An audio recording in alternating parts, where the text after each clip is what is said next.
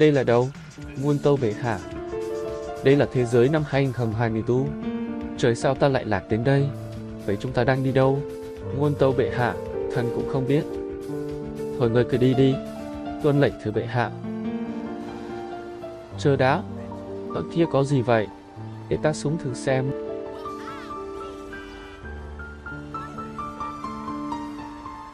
Những người ở đây thật kỳ lạ.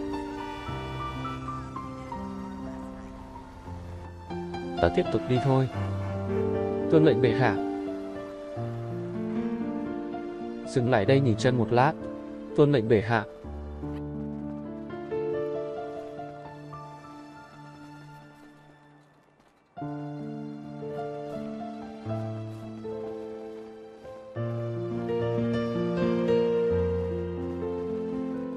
Cảnh vật ở đây thật náo nhiệt và toàn những thứ kỳ lạ, không giống như thế giới của chúng ta.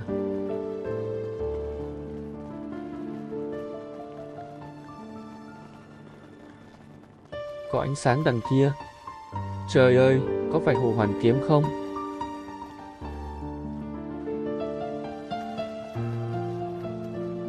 Các ngươi đứng chờ ta ở đây.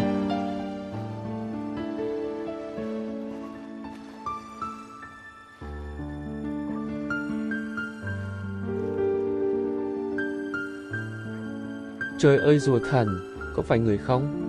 Năm xưa nhờ có người cho mượn thuận thiên kiếm mà con đã dẹp được giặc ngoài xâm. Xin chào đức vua, ngài vẫn khỏe chứ? Rùa thần lại biến đâu mất rồi. Rùa thần ơi, ngài ở đâu? Rùa thần biến đâu mất rồi? Chẳng lẽ ta đang nằm mơ?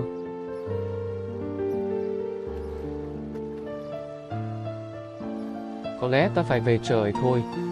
Một giấc mơ thật kỳ lạ.